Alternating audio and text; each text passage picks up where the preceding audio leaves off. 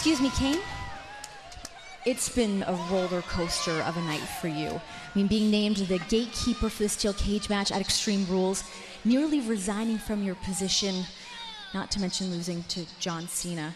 But how do you feel about what was said about you on social media following your loss? What are you talking about? Says uh, WWE JJ Security. The boss just said, after I beat heel Ziggler, let's get Kane a gift. Maybe some denture cream or a box of Depends. Good one, Seth.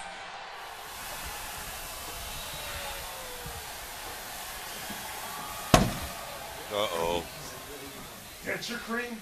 Depends? Hey, hey, hey, how did you hear about that? That's supposed to be a private conversation. No.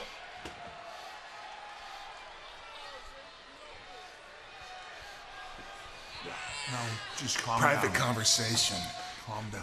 I'm here now.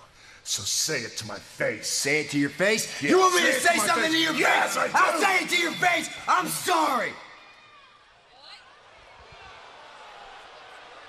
I'm sorry, all right?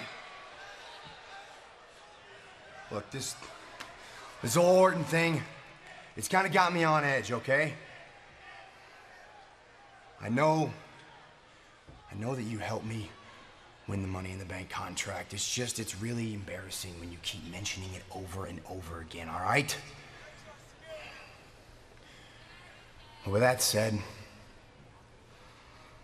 I know you've done all you can to help me stay on top, and I appreciate that. I appreciate it so much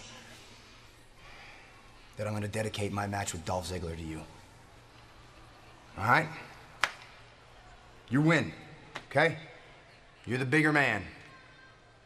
Literally and figuratively.